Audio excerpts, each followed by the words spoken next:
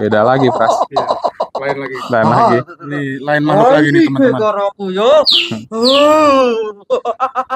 Wani kowe karo aku. Ya, wani, ngopo lah wani? Aku sebenarnya juga kasihan sama yang punya tubuh ini. Terus, Aku masih leluhurnya. ya saya tahu kalau kamu leluhur nggak ganggu kan. Belum mampu untuk melindungi dia, cuma ngawasin dari jauh.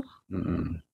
Makanya ketika dia mau berobat ke mana pun, aku ngikutin supaya dia ada yang bantu. Dia kasihan. Dah bunda Korla mau datang. Siapa Bunda Korla? Tahu-tahuan Bunda Korla lu Anak bunda, anak bunda.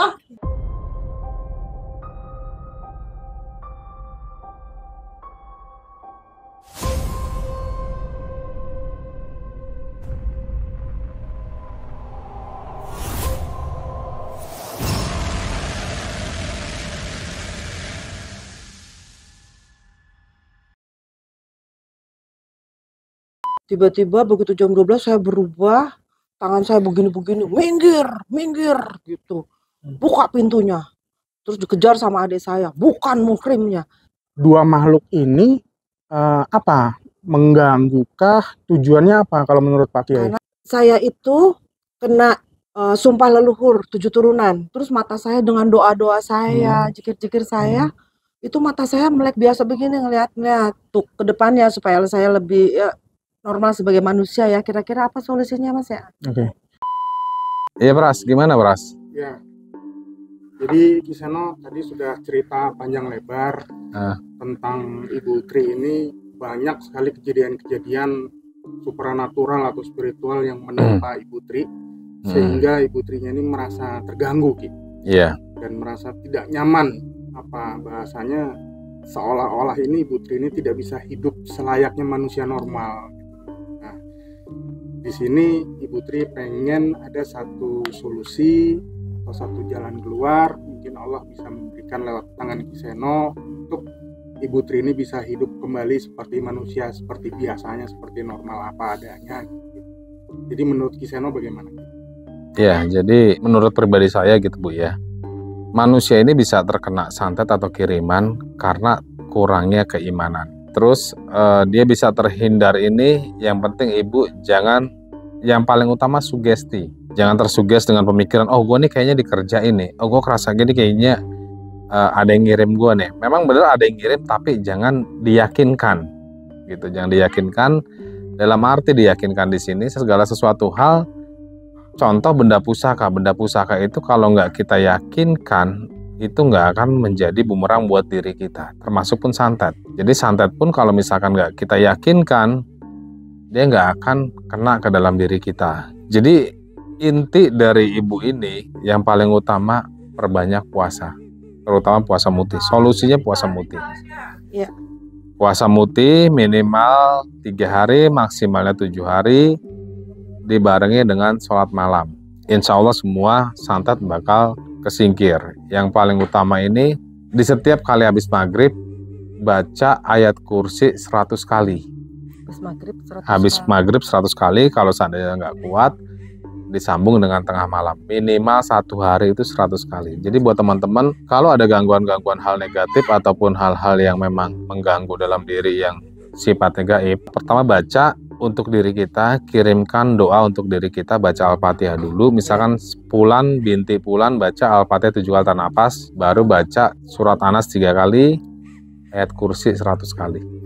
Mau ilmu apa pun, mau dari mana pun gitu ya, saya tahu semua ilmu santet Gimana? itu bakal rotok. Kalau kan tadi baca Al-Fatihah tahan napas tujuh kali. Kan itu Hmm. apa? Nggak semua orang bisa nahan Iya. selama itu Ki. Al-Fatihah kan panjang nih Ya. lumayan tujuh ya Ki ya. Kalau nggak kuat gimana Ki?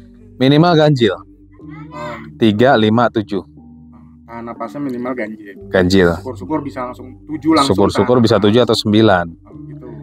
Satu Al-Fatihah tahan nafas. Iya. Apa satu Al-Fatihah, satu Al-Fatihah. Enggak, satu tiga Satu kali Nafas, Nah, tiga kali itu satu tarik baca Al-Fatihah.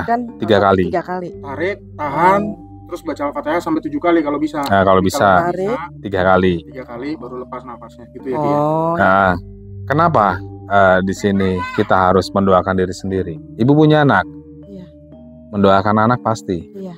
Anak men- mendoakan ibu nggak? Belum tentu. Ibu mendoakan orang meninggal. Iya. Iya. Mm-mm. Siapa pun orang tua kita udah meninggal kita doakan. Iya. Dia mendoakan kita nggak? Enggak. Makanya sebelum kita ini meninggal, kita harus wajib mendoakan diri sendiri untuk apa? Pembersihan diri. Oh iya. gitu. Karena kita nggak ada yang mendoakan dan kita jangan mengandalkan untuk orang lain supaya berdoa untuk kita. Jangan mengandalkan siapa pun. Kita doainnya diri sendiri. Selagi eh, kita masih hidup. Jadi yang sekarang ini gue mau coba interaksiin pas. Gue mau coba masukin nih. Ini tadi dia ngeliatin ke ibu ini. Lu jagain aja di belakang ya. sebelum sebelum dimasukin game mohon maaf sebelum kita lakukan Ah. mediasi atau mediumisasi teman-teman saya mau tanya dulu sama Kiseno Hmm. menurut pandangan Kiseno ini apa yang terjadi dengan Ibu Tri ini apa sih gitu Kiriman. apa apa di di di apa perbuatan seseorang atau dari leluhurnya yang menitis atau gimana. Kalau yang paling utama dia memang terhada. Nah, Terhada tapi lebih kuat dominannya dari kiriman. kiriman artinya perbuatan seseorang Perbuatan seseorang. Ya, kayak contoh misalkan santet lah. Nah, Uh, misalkan dia kiriman ini macam-macam bentuk dan jenisnya. Ada yang santet, ada juga yang ingin menundukkan ibu ini, gitu. Jadi kiriman ini nggak nggak harus dia santet ya banyak. Kayak misalkan gendang apa uh, puter giling sukma, ilmu pelet ataupun dia gendam itu kan termasuk kiriman. Tapi yang dominan dari ibu ini dia memang mau dibikin gila, pras. oh Dia mau dibikin gila, mau lupa sama semuanya hmm. yang gua gua tahu kayak gitu ya dari dari artinya tadi dia, dia cerita gitu dan bagusnya dia masih ada keimanan dengan Tuhan dengan Allah kalau nggak ada selesai hidupnya udah jadi ibu kalau misalkan saya mau mediumisasiin ibu los aja. Ibu mau ngamuk mau apa biarin aja los. Baru tugas tuh jagain ya. Pras enggak mendingan di bawah aja. Di bawah aja kayaknya ya. kalau di sini di kursi takutnya ngejeledak kan. Ya, jadi teman-teman kita mau coba mediumisasikan ke Ibu Tri apa satu sosok yang selama ini mengikuti atau menempel sama Ibu Tri. Cuman karena kita menjaga kondisi fisik agar tidak cedera untuk keamanan semuanya, kita pindah tempat teman-teman. Tetap ikuti kami. Ya, teman-teman, kita sudah pindah tempat dan saat ini kita mau coba mediumisasikan satu sosok yang selama ini mengikuti atau menempel atau mungkin mengganggu di kehidupannya Ibu Tri. Mediumisasi ini akan dilakukan langsung oleh Kiseno. Kita saksikan bersama teman-teman. Silakan Kiseno. salawat aja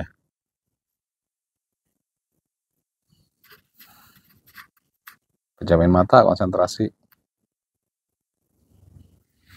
Auzubillahiminasyaitonirrajim Bismillah Sirullah jatullah sifatullah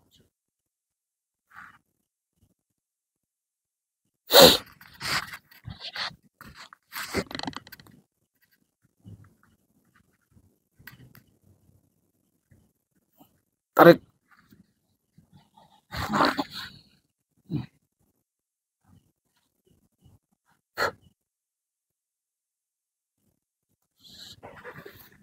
Allah Akbar Mik, mik ya, mik ya, mik Siapa ini? Pegang aja, pegang Siapa ini? Siapa ini? Siapa? Assalamualaikum Waalaikumsalam warahmatullahi wabarakatuh. Ini siapa?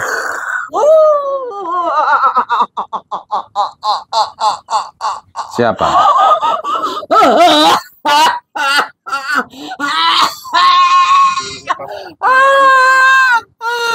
Siapa? Ngomong, ngomong, ngomong. Udah. Daripada saya hancurkan ngomong. Ngomong aja. Emang mau ngapain sih? Saya lihat dari tadi kamu datang ke sini, kamu ganggu ibu ini kenapa? Emang mau ngapain? Hak hak gue, gue mau di sini. Ya, enggak. Eh, Gua hancurin, gua hancurin semuanya kalau lu nggak pergi. Kenapa? Ganggu kenapa? Oh, gue Hmm? nggak terima. Gue nggak terima leluhur gue digangguin terus sama dia. Leluhur yang mana? Urusan gue. Leluhur yang mana? Gue nggak terima ya. Ah, Hmm. Leluhur yang mana? Turunan gue lu bisa tahu ngapa lu nanya sama gue ngapa? Iya. Urusan gue. Artinya kan yang mengganggu itu kan dari orang lain. yang mengganggu dari orang lain. Harusnya eh, kamu sebagai leluhur bisa ngelawan dia. Kenapa nggak bisa? Kenapa? Hmm? Kenapa nggak bisa ngelawan yang negatifnya? Tuh nyebelin banget sih. Hmm? Kasihan ibu ini, kasihan. Selalu gagal karena ada yang menutupi gitu. Kenapa?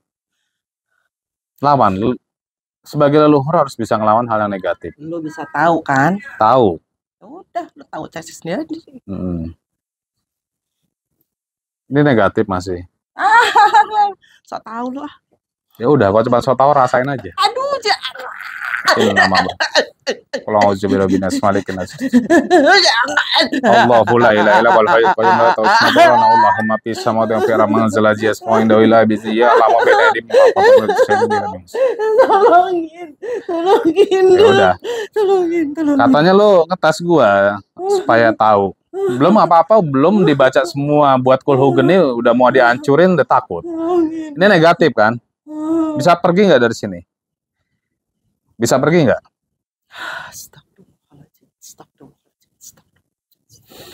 Allahu la ilaha illa huwal hayyul qayyum la samawati wa indahu bi ma wa ma la illa samawati. Qul a'udzu nas nas tolongin, tolongin dong, tolong. Qul a'udzu nas nas. Bisa pergi nggak? Bisa pergi nggak? Tolongin, tolongin apa? Tolongin. Udah berapa lama? Udah berapa lama di badan ini? Udah berapa lama? Jujur aja. Tolongin. Udah berapa lama? Seumur hidup, seumur hidup. Nggak bisa seumur hidup, gua hancurin kalau seumur hidup. Tolongin, tolongin. Nggak bisa seumur hidup, pergi. Tolongin. Udah berapa lama di sini? Udah berapa lama? Berapa bulan ya? Nggak ada berapa bulan. Udah lebih dari tiga tahun sampai lima tahun ini. Jujur. Udah berapa lama? Udah berapa lama? Aku lupa. Coba, saya mau tanya, siapa yang ngirim? Siapa yang ngirim? Artinya kita sesama makhluk Tuhan, saya bakal balikin secara baik-baik. Jujur aja, berapa lama di badan ini? Siapa yang ngirim? Nggak tahu. Kenapa nggak tahu? Artinya kamu udah bisa diperintah, tapi kenapa bisa nggak tahu? Kan kalau diperintah, Ditinggalin. ditinggalin. Sama siapa? Oh, jadi guys, ini eh, mantan suaminya yang bikin kayak gini. Karena mantan suaminya itu paranormal. Yang terkenal ya dukun mungkin ya Pras ya. Iya. Ini dibikin kayak gini kasihan nih. Saya mau tuntasin, saya mau habisin semua. Kamu mau pulang sendiri, mau diantar atau mau dihancurin? Aku nggak tahu jalan. Oh, aku tahu mau jalan. pulang, tapi aku nggak tahu jalan. Oke, Udah ditutup semua. ya udah saya buka jalannya. Ya Allah, ya Rahman ya Rahim. La haula wala quwata illa billah. Ikutin saya. Asyhadu alla Asyhadu an la ilaha illallah wa asyhadu anna Muhammadur Rasulullah. Lagi. Asyhadu an la ilaha illallah. Wa asyhadu anna- Muhammadur Rasulullah. asyhadu an la ilaha illallah. Wa asyhadu anna Muhammadur Rasulullah. la haula wala quwata illa La haula wala quwata illa billahil aliyil azim. Udah kelihatan jalannya? Ah, Udah kelihatan jalannya? Udah kelihatan belum? sakit. Udah kelihatan belum jalannya? Tahu. Masih belum kelihatan. Masih belum kelihatan.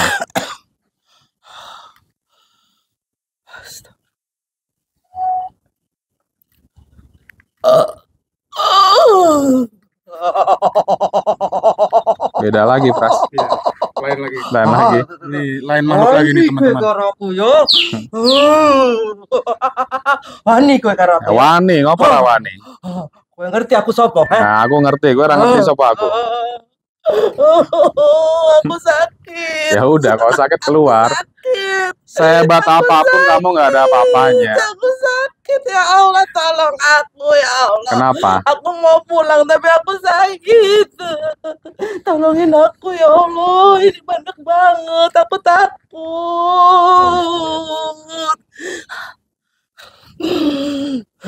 Inna ma'amru ijarah syana kula lakum fa'ikun inna ma'amru ijarah syana kula lakum. Ah.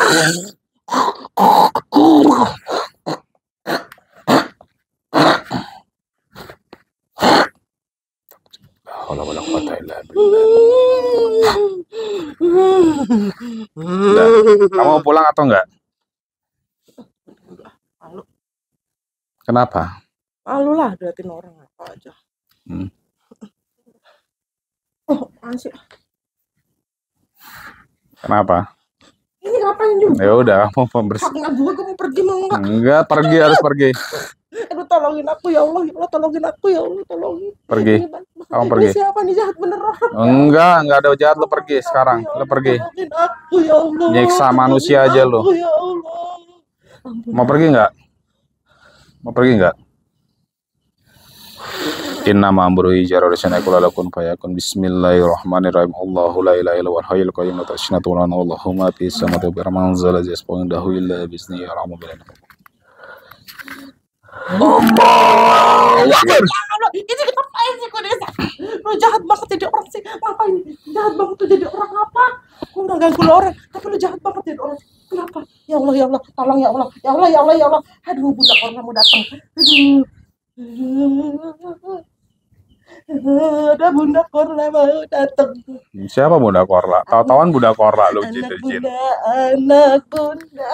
Aduh, tolongin aku, Mas. Jangan aku jangan dibikin. Udah diam sini diam. Siapa budak korla? Tahu jin tahu-tahuan budak korla lu. Keluar, gue nonton setiap hari. Nonton Nah. TikTok gue setiap hari. Ah, Gue harus kerja.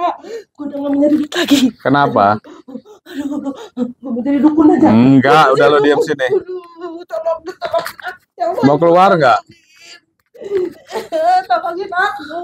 Eh, dengerin dulu, dengerin, dengerin. Eh, dengerin dulu. Bodoh. Emang ada jin tahu budak korla? Tahu lah, Siapa yang budak jin korla? zaman now. Oh gitu. Baru tahu kan lu. Ah.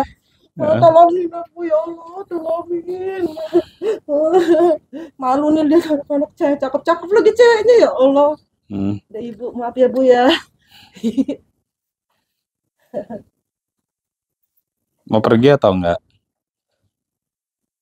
Ini jadi jin, jinnya jin zaman now nih, Iya, jin zaman sekarang ya. Iyalah. Tadi siapa yang udah keluar tuh siapa aja? Yang udah keluar siapa aja tadi? Aduh. Bismillah. Ya Allah, jahat banget lo orang manusia macam apa sih lu? Enggak. Nyakitin gua kayak begitu. Ya enggak, bisa kan dipegang biasa doang. Ya tolongin ya Allah. Ah, Mau pulang atau enggak? Mau pulang mau di, mau dianterin atau mau pulang langsung? Hah? Mau pulang?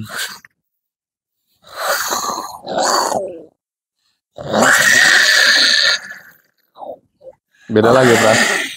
Jadi nah ada ada banyak beberapa yang di sini yang masuk ya. Ini sebenarnya dia kerja di kementerian. Tapi karena mantan suami jadi kayak gini nih, kasihan.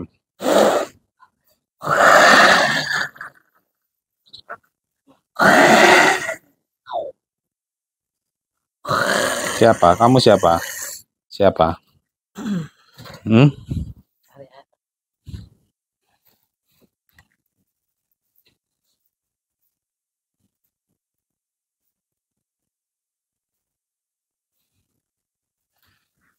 Aku sebenarnya juga kasihan sama yang punya tubuh ini. Terus? Aku masih leluhurnya. Ya, saya tahu kalau kamu leluhur nggak ganggu kan? Belum mampu untuk lindungin dia, cuma ngawasin dari jauh. Hmm. Makanya ketika dia mau berobat ke mana pun, aku ngikutin supaya dia ada yang bantu. Dia kasihan, dia Hmm. kasihan, dia kasihan banget dia anak turunanku. Aku minta tolong. Beban hidup semuanya ada di dia, Ki. Tolongin dia, Ki. Iya, insya Allah saya tolong. Tolongin, Ki. Kasihan, Ki. Nanti saya tolong saya bersihin. Bebannya terlalu banyak, Ki. Iya. Dia, dia bener-bener aku nggak Ini tega. siapa leluhur saya dengan siapa? Ki siapa? Aduh. Dengan siapa?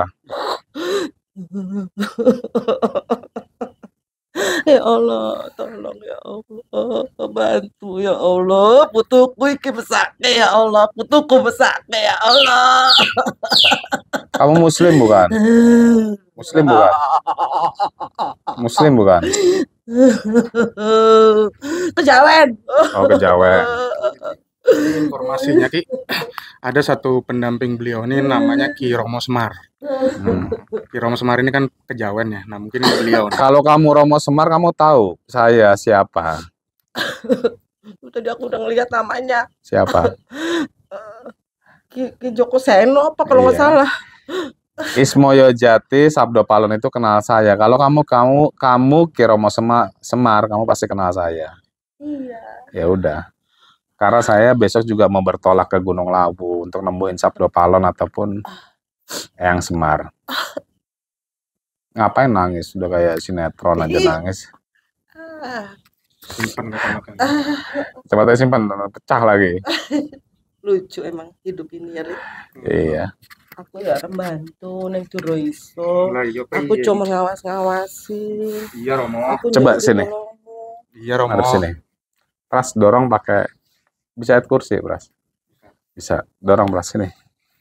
Kita netralin aja. Saya punya Romo. Baca ayat kursi atau Anas. Auzubillahi minasyaitonirrajim. Bismillahirrahmanirrahim. Sirullah jatullah sifatullah ya Allah ya Rahman ya Rahim ya Alam Allah ya Malaikatul Jibril Mikail Israfil Israel. Qul a'udzu birabbin nas malikin nas. La haula wala quwwata La haula wala quwwata illa billah.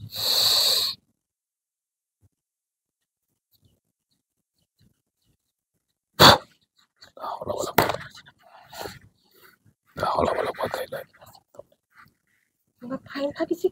Lu jahat banget sih jadi orang. Emang kangen banget nih, aduh. Aduh, katanya tadi mau masukin kayak begini ya Allah. Ya Allah, ya Allah, ya Allah, ya Allah.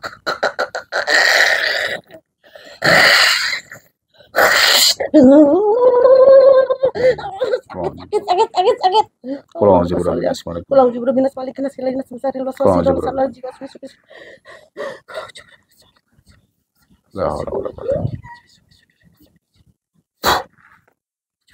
Istighfar. Buka, buka matanya, Bu. Buka matanya. Ambil aquanya, air aquanya buat sini. Iya, guys. Jadi kita tuntasin malam ini buat netralisir Ibu nih. Lucu ya. Lucu, ribet jadi orang tua ribet loh. Umur Iya, berapa sekarang? 55 tahun. 55 tahun. Mantep dah gua mah. Nah, kemasukan jin kafir udah lama nih. Jadi kita coba netralisir semua buangnya ke laut, eh, leluhurnya kita sempurnain semuanya. Iya. Jadi anak dia ini indigo nih guys, anak indigo yang memang udah sempat kemasukan juga beberapa kali sampai rambutnya itu botak karena cakra mahkotanya kebuka. Nanti kita coba interaksiin sama eh, mediumisasi anaknya juga. Oke Bu, Ya. oke sampai di sini dulu. Nanti kita lanjut part 2. Assalamualaikum warahmatullahi wabarakatuh. Waalaikumsalam warahmatullahi wabarakatuh. Salam rahayu.